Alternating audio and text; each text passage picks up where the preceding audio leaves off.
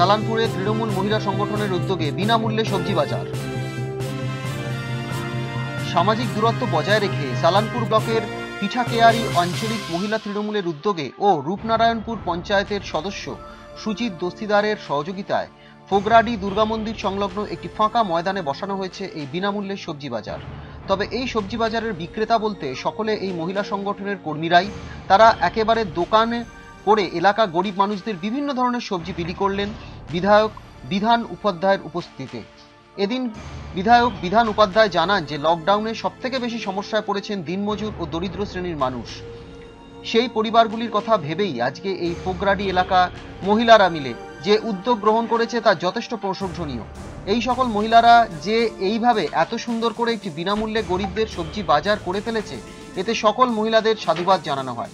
এই প্রসঙ্গে রূপনারায়ণপুর পঞ্চায়েত সদস্য ও সমাজসেবী সুজিত দস্তিদার জানান যে, আজ আমি বিগত কয়েক অনেক দিন ধরেই এলাকার গরিবদের নিজের বাড়ি থেকেই চাল, আলু, ডাল দিয়ে আসছি। তবে এখানকার মহিলারা আমার কাছে জানায় যে, যদি একটি বিনামূল্যে সবজি বাজার করা যায়, তাহলে কেমন হয়?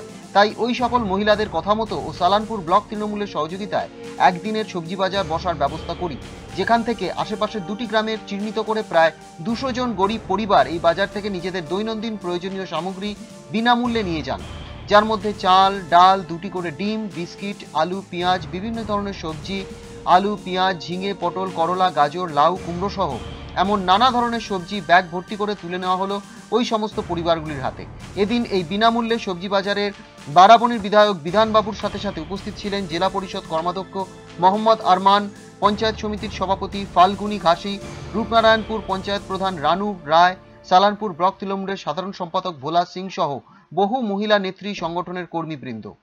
লকডাউনের প্রকোপে আমাদের সাধারণ মানুষ বিভিন্ন জায়গায় বিভিন্ন অসুবিধার মধ্যে পড়ছে। যারা গরিব মানুষ আছে, যারা দিনমজুর আছে, যারা ক্ষেত মজুর আছে, যারা রিক্সা চালক আছে, যারা মানে খুব মানে দিন আনে দিন খায়। তাদের অসুবিধার কথা ভেবে আমরা গত এক মাসের বেশি দিন থেকে আমরা বিভিন্নভাবে আমাদের তৃণমূল কংগ্রেসের পক্ষ থেকে বিভিন্নভাবে মানুষদের পাশে দাঁড়িয়েছিলাম। আজকে আমরা রূপনারায়ণপুরে ফগলাডি এখানে সুজিত দস্তিদার পঞ্চায়েত মেম্বার আছে এবং আমাদের মহিলা তৃণমূলের যারা নেত্রী আছে তারা একটা ভালো উদ্যোগ নিয়েছে। এখানে মানে আপনারা নিজেরাও দেখলেন প্রথমে চাল নিচ্ছে বিস্কুট নিচ্ছে আলু পেঁয়াজ সমস্ত ধরনের সবজি মানে বিভিন্ন ধরনের সবজি ডিম মানে একটা মানুষের যা দৈনন্দিন যেটা দরকার আছে যেটা খাবার জন্য দরকার আছে সেটা কিন্তু এখানে আমাদের আঞ্চলিক তৃণমূল কংগ্রেস এখানে করেছে।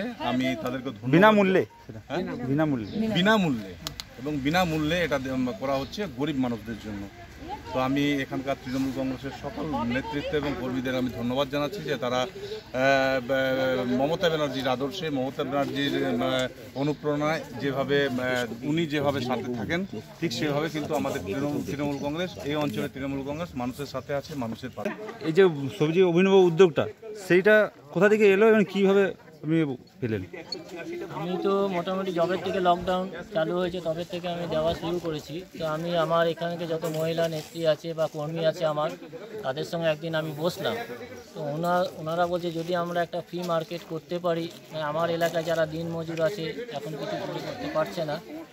বললাম ঠিক আছে, করা যাক। এবং সকলের সহযোগিতায় আমার পাড়ায় এনারা যারা দেখছেন, সবাই কিছু হেল্প করে, কেউ চাল, কেউ আলু, কোনো টাকা পয়সা নয়। যে যেরকমভাবে পেরেছে দিয়েছে এবং ওনাদের উদ্যোগে আমি নিজে উদ্যোগ নিয়ে এবং আমার নেতৃত্বে ভোলাদা বিধানদা আরমানদা বা ফাল্গুনি থেকে পারমিশন নিয়ে এটা করেছি।